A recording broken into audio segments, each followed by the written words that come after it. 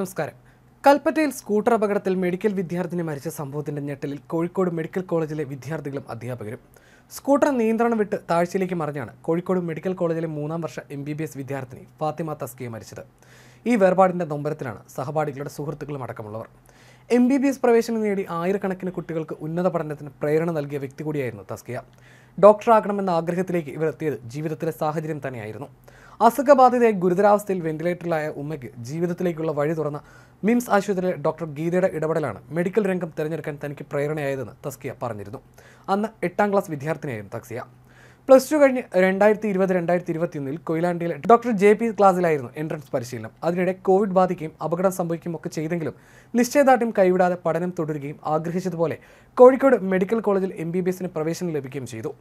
പഠനത്തിലും പാഠ്യേതര പ്രവർത്തനങ്ങളിലും മികവ് തെളിയിച്ച് നിരവധി കുട്ടികൾക്ക് പ്രതിസന്ധിയെ മറികടക്കാൻ പ്രേരണയേകിയ തസ്കിയെ അകാലത്തിൽ മരണം കവർന്നെടുക്കുകയായിരുന്നു. ഇന്നലെ കൽപ്പറ്റയിൽ നടന്ന മെഡിക്കൽ ഹെൽത്ത് ക്ലബ് മീറ്റിംഗിൽ പങ്കെടുത്ത് കൂട്ടുകാരികൾക്കൊപ്പം തിരിച്ചു വരുന്നതിനിടെ സ്കൂട്ടർ മറിഞ്ഞാണ് ദാരുണ അപകടം സംഭവിച്ചത്. പിണങ്ങോട് നിന്നും പൊഴുതന ആറാം മൈലിലേക്ക് പോകുന്ന റോഡിലെ വളവിൽ ഇവർ സഞ്ചരിച്ച സ്കൂട്ടർ റോഡിൽ നിന്ന് താഴ്ചയിലേക്ക് മറിയുകയായിരുന്നു.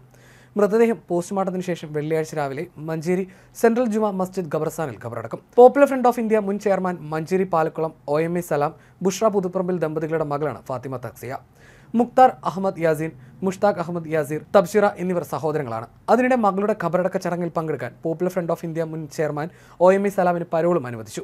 ഇന്നലെ സ്കൂട്ടർ അപകടത്തിൽ മരണപ്പെട്ട മകൾ ഫാത്തിമ തസ്കിയുടെ അന്ത്യചടങ്ങിൽ പങ്കെടുക്കാൻ മൂന്ന് ദിവസത്തെ പരോളാണ് അനുവദിച്ചത്. രണ്ടായിരത്തി ഇരുപത്തിരണ്ടിൽ പോപ്പുലർ ഫ്രണ്ട് ഓഫ് ഇന്ത്യ കേന്ദ്ര സർക്കാർ നിരോധിക്കുന്നതിന് മുന്നോടിയായി നടത്തിയ റെയ്ഡിലാണ് അന്നത്തെ ചെയർമാൻ കൂടിയായ ഒ എം എ സലാമിനെ എൻ ഐ എ സംഘം അറസ്റ്റ് ചെയ്ത് യു എ പി എ ചുമത്തി തീഹാർ ജയിലിൽ അടച്ചത്. ഒന്നര വർഷത്തിലേറെ ജയിലിൽ കഴിയുകയാണ് സലാം.